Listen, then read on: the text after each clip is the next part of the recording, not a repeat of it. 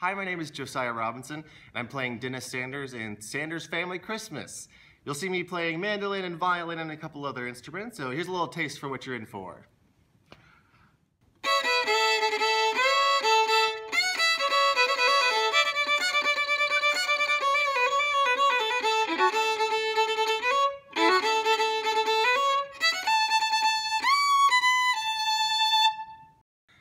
Be sure to check out uh, my blog post attached to this video and come see Sanders Family Christmas at the Commonweal.